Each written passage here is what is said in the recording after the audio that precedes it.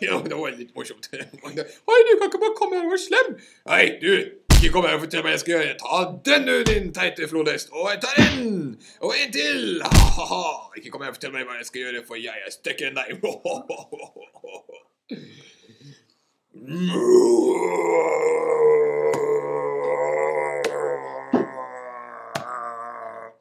Dit og dra, din store, stygge ape som lukter litt. Ha, ta den!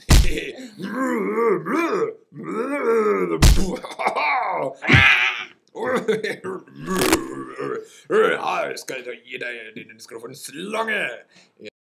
Å, tusen takk, det var bare hyggelig. Takk for det.